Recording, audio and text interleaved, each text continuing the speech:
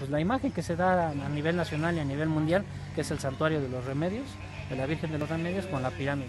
Ok, ¿cuáles serían como las artesanías que distinguen a, a San Andrés, digamos que sean originales aquí de San Andrés? Mm, Pues yo lo que vi así muy impactante, me gustaron los collares de granos de maíz, que yo la verdad no, no los había visto. Este, y los, los zapatos de piel también, eso se me hizo increíble, ¿no? Cómo, cómo los elaboran, ¿no? No es cualquier tipo de zapato como los de Guanajuato que vemos. Es totalmente otra cosa.